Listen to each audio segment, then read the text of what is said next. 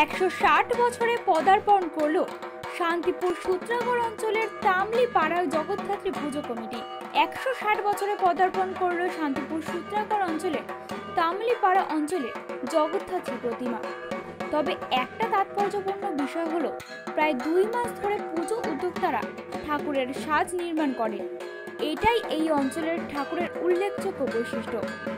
মৃৎশিল্পী শুধুমাত্র মাতৃ মূর্তি তৈরি করে দেন।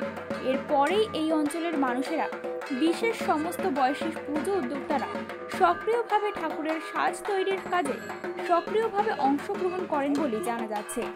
নবমীর দিন মায়ের নিরামিষ ভোগ উৎসর্গ করা হয় এবং চিরাচরিত প্রথা মেনেই একাদশীর দিন প্রতিমা নিরঞ্জন দেওয়ার রীতি বিদ্যমান। স্বাস্থ্যবিধি মেনটেন বলতে আমাদের প্রশাসনিক যা নির্দেশ আছে, সেই নির্দেশ পুরোটাই মানা হচ্ছে মাস্ক বিতরণ মাস্ক বিতরণ হবে স্যানিটাইজ করা হবে। কুড়ি জন সদস্য ডবল ভ্যাকসিনেট যাদের সার্টিফিকেট আছে, শুধুমাত্র তারাই মণ্ডপে প্রবেশ করবে। মণ্ডপের বাইরে থেকে বাকি পাড়ার সদস্যবৃন্দ, দূরত্ববিধি মেনে অঞ্জলি, পুজো সবই নেওয়া হবে। ভোগের যে ব্যাপারটা রয়েছে মায়ের ভোগের আগের বছর বন্ধ ছিল এবছর ভোগটাও আমাদের চালু করা হয়েছে। ভোগটা বিতরণ হবেও দূরত্ববিধি মেনটেন করে দু একজন দু একজন করে।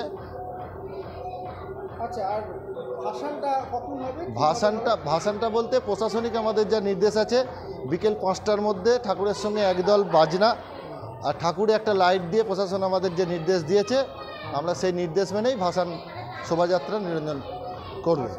আপনার নাম বলবেন? আমার নাম চন্দন প্রামাণিক সুধাগর তামলিপাড়া শান্তিপূর্ণ দিয়া আচ্ছা। নদিয়া থেকে মরাইদের রিপোর্ট টাইমস বাংলা।